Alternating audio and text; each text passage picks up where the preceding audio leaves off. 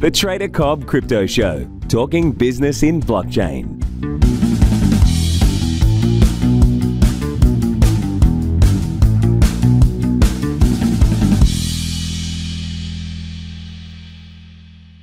Good everybody, and welcome to the Trader Cobb Crypto Show. Hope you're having a good start to your day. Listen, um, if you are anybody north of, say, Coffs Harbour, then I would suggest, if you're a surfer, that you should put your headphones down, call in sick, and go surfing because everywhere from north of Coffs on the south, sorry, on the east coast of Australia right now, even Bundaberg has waves. I am informed is absolutely pumping, absolutely pumping. And here I am in Sydney, not pumping.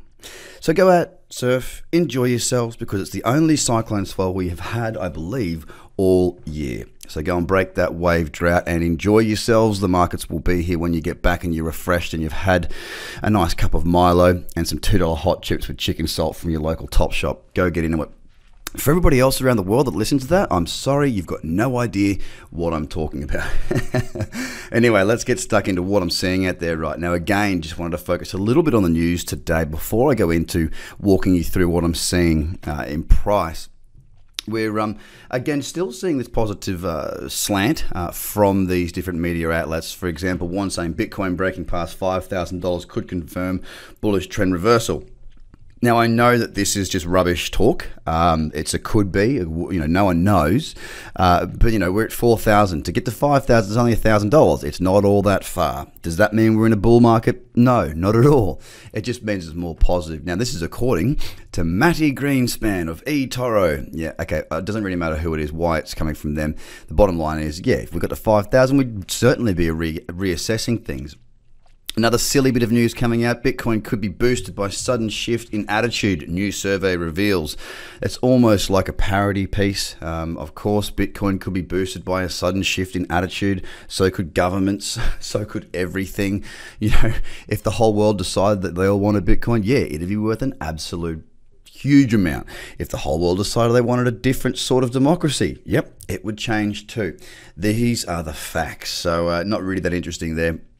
Uh, what else have we got? One thing I do see is really positive in the news at the moment, that many people might overlook, is that Pantera Capital has secured $125 million for its third cryptocurrency venture fund. Now, that is of interest because that's a, it's not a lot of money. It's, I mean, it is a lot of money, don't get me wrong, but it's not uh, an institutional large amount of money. It'd be interesting to know where the breakdown of that comes from. Is that 125 exclusively institutions in there, or is that raising from family office, high net worth, and the general public? I'm going to have to dig a little deeper in that one and just see what exactly it is.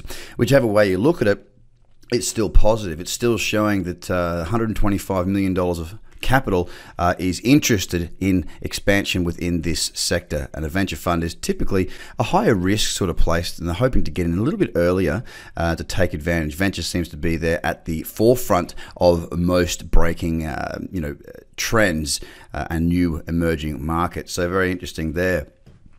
Um, a lot of other rubbish in the, in, in the news, really. Um, uh, you know, the guy who owns Reddit or co-founder said that uh, crypto investors should have been thinking long term. Yep, wonderful. Thanks for that, mate. Excellent to hear that. Wonderful piece of uh, nothing for us to take there. Um, and that's about it as far as the news goes from significant points of view. Now, looking at Bitcoin, let me tell you what happened yesterday. Uh, yesterday, we saw a bit of a uh, hiccup we'll call it. All right. Um, I watched it actually occur live right in front of my face as I was watching um, one of these, like a, a, resistance level with the apprentices that I work with here at tradercobb.com. Um, these guys didn't take that trade. I said, you know, they decided not to. I, I was not looking to take the trade at all. I didn't even really see any level, um, and it, it, broke up through about 4,072, right? 4,072 popped up through there, and uh, it ended up climbing really quickly to 4,145. Now, the issue that I had with that was how quickly that actually happened. Uh, it just raced straight up, just went in one big spike, kaboom, straight up, and then ultimately straight back down.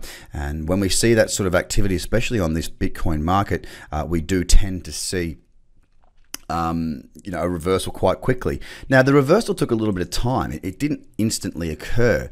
Uh, it wasn't right away that we saw the market pull back. We did see it pull back in the hours following. So we had a high, it was the high of 4,145. And by the time we set a low, we had a, a low of 3,918. So a hundred and something dollar move there. Now, not, not a major move, but what that did was it basically tested the upper side and the lower side of price for that day. And we haven't changed from there since. Now we're back within that range, hanging yet again around 4,000. Excuse me. Now, the longer we sit it in and around that 4,000 mark, the more likely it seems to me that we'll hold it. Now, I have been wrong before, and I put a video out to all my subscribers yesterday. That's right, all my subscribers. You can you don't have to pay to get a subscription, guys. Just go to tradercobb.com, and uh, you know you can just, just the best thing to do is go tradercobb.com forward slash free tools. You get a bunch of free courses there. It'll explain what the strategies are, how I trade, and you'll also get put onto that bi-weekly video newsletter. Um, but yeah, I was sort of saying I wouldn't be surprised if we did see a sharp pullback. Uh, we saw the beginnings of that sharp pullback. I, I, put that video out yesterday, but then we just sort of we, we bounced immediately back and we're sitting at 4006 right now. Really interesting way of looking at this chart is to see it holding in that range. Again, this could be the start of another bit of a consolidation like we did see after the 8th of February Friday spike. Uh, it has been another positive week thus far. You know, the week is uh, looking to end in, well, basically 24 hours. Sorry, the week will end on Monday, but so far we are bullish. We are up 7.26% on the week. Be interesting to see what we get today, if we do get further upside, if we consolidate, or if we move lower. There is some opportunity out there. We are looking for pullbacks uh, within my community anyway, looking to see if there's any opportunities to be trading long uh, coming off of and that little pullback. The problem is, is many of these pullbacks happen so quickly that uh, there's a bit of a spike on many of these. So um, a little bit of patience still required for many of these markets. Either way, I do like the way that we are sitting this week so far. So guys, have a fantastic weekend. I'll be with you again very, very soon. And like I said, get across to tradercobb.com forward slash free tools. Bye for now. The Trader Cobb Crypto Show, talking business in blockchain.